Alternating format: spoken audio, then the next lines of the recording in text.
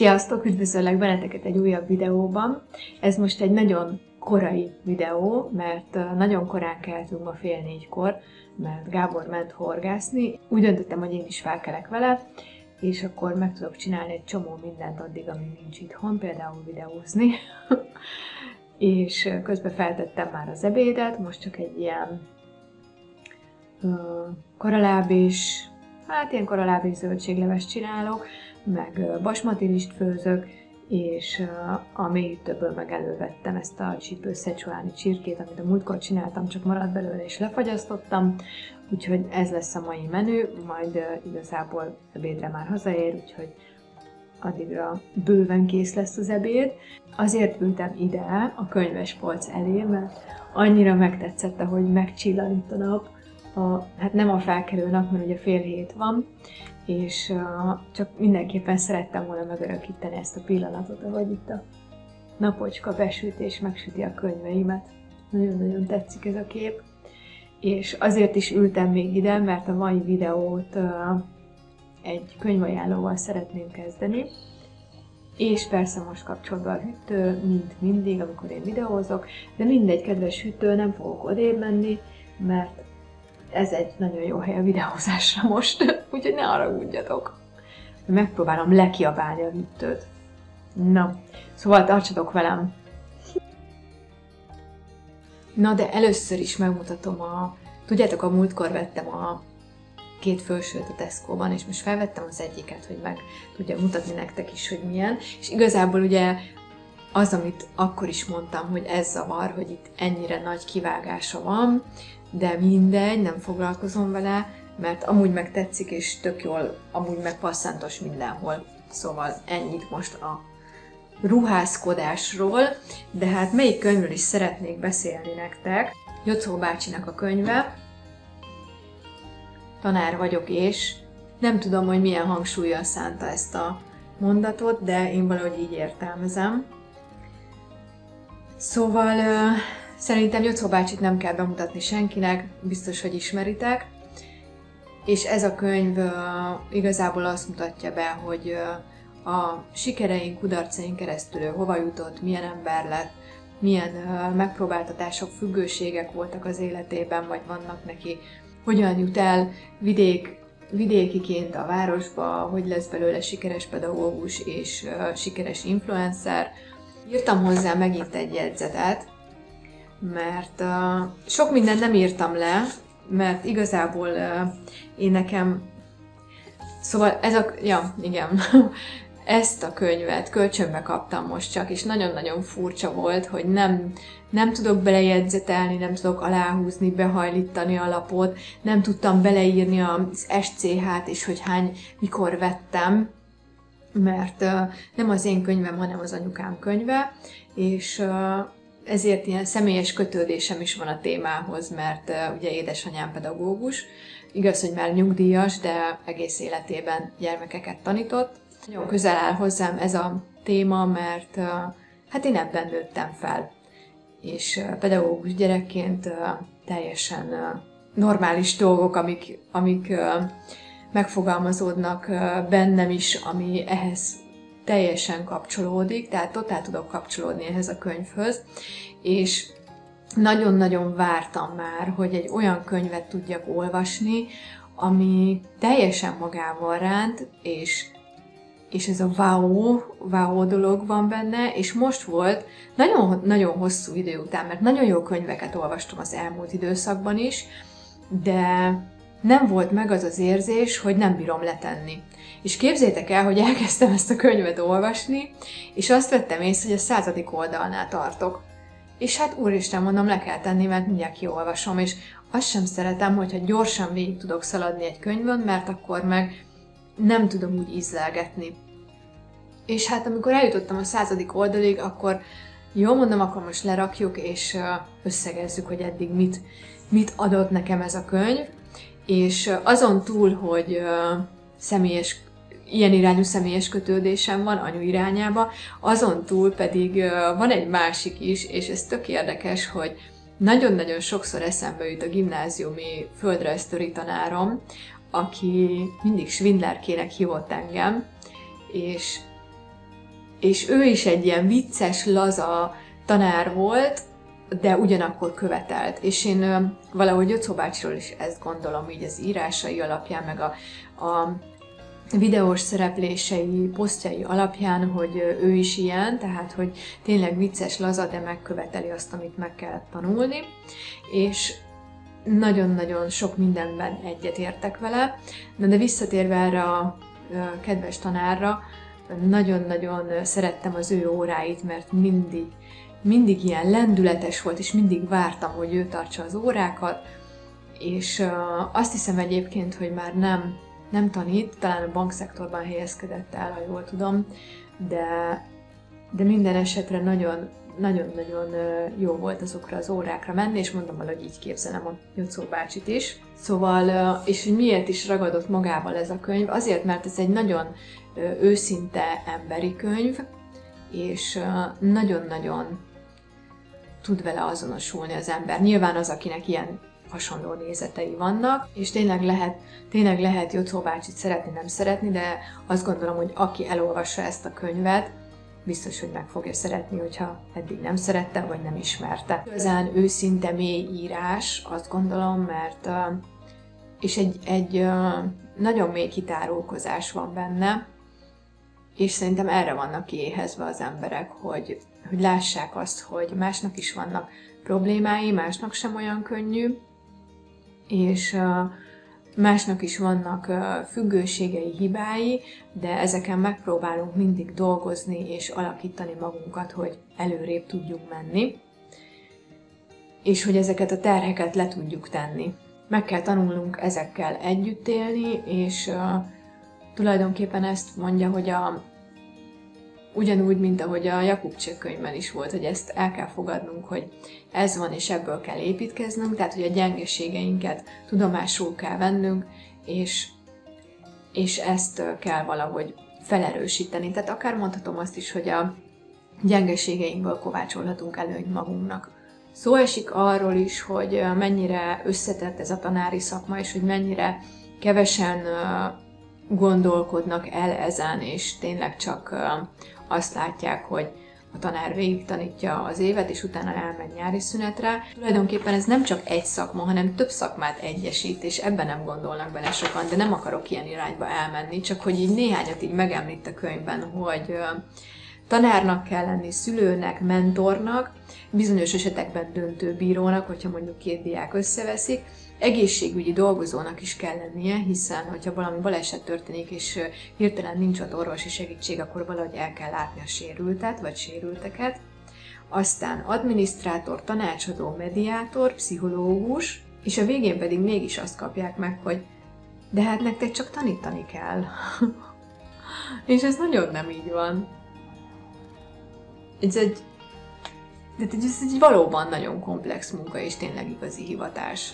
Ó, nagyon sok mindenről lehetne beszélni a könyv kapcsán, a tökéletességre való törekvésről, a függőségekről, a kudarcokról, hogy hogy állunk fel a kudarcokból, miért úgy alakulnak a dolgok, ahogy alakulnak. Beszél arról is, hogy nem vállaltak gyermeket, és igaz, hogy ő neki saját gyermeke nincsen, de de az a hivatása, hogy minél több gyereknek tudjon adni. Egy gyerek helyett egy gyermek helyett megpróbálok minél többnek adni, és ez szerintem egy annyira szép gondolat. És az is nagyon tetszett, hogy nagyon sok esetben megkapja azt, hogy neked könnyű, mert ugye az emberek csak azt látják, hogy valaki sikeres, és nem látják a mögötte található nehézségeket, küzdelmeket, és azt, hogy mennyi, mennyi időt öl bele valaki abba, hogy sikeres legyen. Ezt általában nem szokták látni az emberek és ezt mondja, hogy amikor ezt mondták neki, hogy neked könnyű, nem, nekem nem könnyű, maximum máshogy nehéz.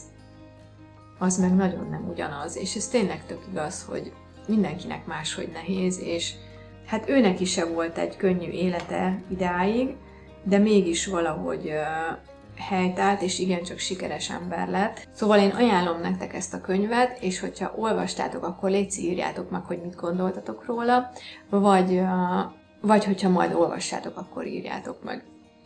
Fú, hát nem nagyon terveztem ezt, de elképzelhető, hogy ez megint egy ilyen ajánlós videó lesz, mert van még egy sorozat, amiről nagyon szeretnék beszélni nektek, és ez pedig nem más, mint a Virgin River nevezetű sorozat, és ezt egyébként egyikőtök ajánlotta. Nem tudom már, hogy melyik videó alá volt oda kommentelve, de valamelyikőtök ajánlotta ezt a sorozatot, és nagyon-nagyon hálás vagyok érte, nagyon szépen köszönöm, mert ez most egy olyan sorozat, ami engem így nagyon-nagyon sokszor kiránt a mélyből, és nagyon-nagyon érdekes az, hogy ez egy ilyen kicsit ilyen szirupos, csöpögős, nyálas sorozatnak mondható, amiket én egyáltalán nem szoktam nézni, de nem írnám le ennyivel, mert én mindig azt szoktam csinálni, hogy azért két-három részt megnézek egy sorozatból,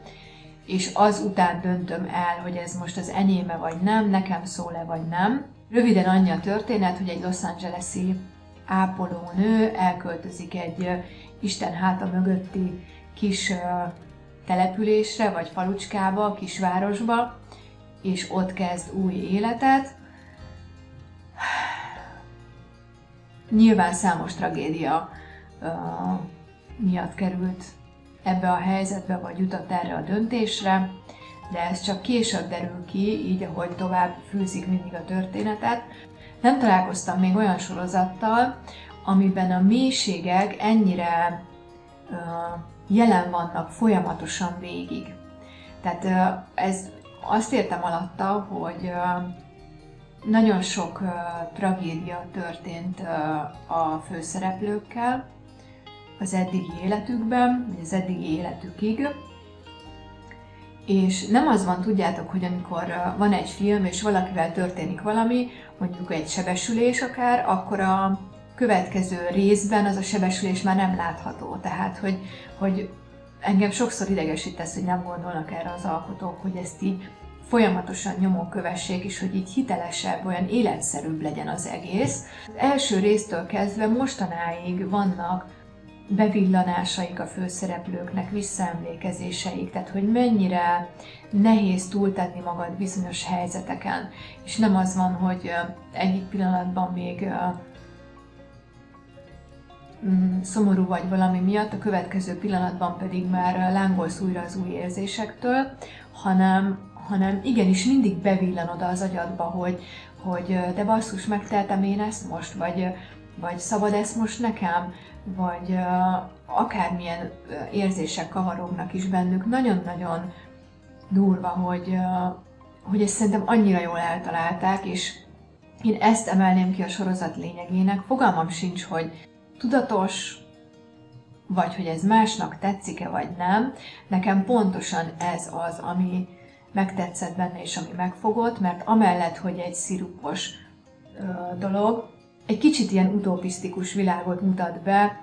Nyilván uh, sehol nincs ilyen, sehol nem ilyenek az emberek, hogy mindenki, bár mondjuk de Amerikában lehet, hogy ilyenek elképzelhető, mert ahogy nézem ezt a sorozatot, azt érzem, hogy én is uh, szeretnék egy ilyen, ilyen közösségben élni, ahol uh, ilyen uh, úgy viselkednek egymással az emberek, mint hogyha ha így az egész falu egy nagy család lenne. Ami miatt azt mondtam, hogy egy kicsit utopisztikus a sorozat, azt arra is értettem, hogy, hogy annyira jó azt látni, hogy az emberek ennyire segítőkészek, és bárkivel bármi probléma van, azonnal segítenek a másiknak, és tök jó lenne tényleg egy ilyen világban élni, hogy nem attól kell tartanunk, hogy a másik mit mond rólunk, és hol beszél ki bennünket, és hogyan vágja a hátunkba a kést, hanem hogy hol tudunk segíteni a másiknak. És ugye mindig túl van hype a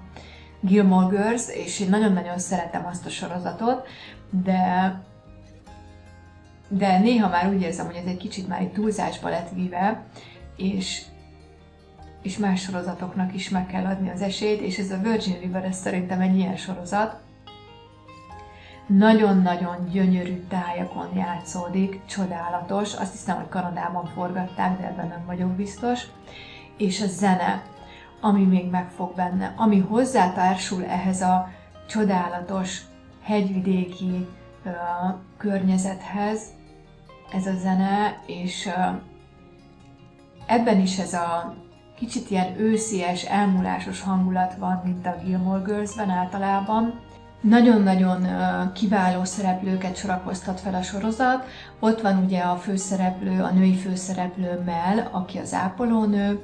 A kedves ápolónő mellé pedig kapunk egy sármos fiatalembert, aki a nem akarok spoilerezni, úgyhogy nem mondom, de ő Jack, aki ugye a bárnak a tulajdonosa, és nagyon-nagyon szimpatikusak mindketten. Hogyha szeretnétek azt, hogy Ja, és hát a mellékszereplők, a mellékszereplők is fantasztikusak szerintem, mert nagyon-nagyon jól kitalálták őket, és nagyon-nagyon jól hozzák a tipikus emberi viselkedéseket, ami sokszor idegesítő, de ezáltal minden karakter annyira szerethető, és tényleg mindegyikben az van, hogy mindegyik karakterig megfejlődi valahogy saját magát, ami szerintem szintén a sorozatnak egy fontos mondani valója, hogy mindig tudunk változtatni, és bármi van, bármi van, mindig van valami megoldás.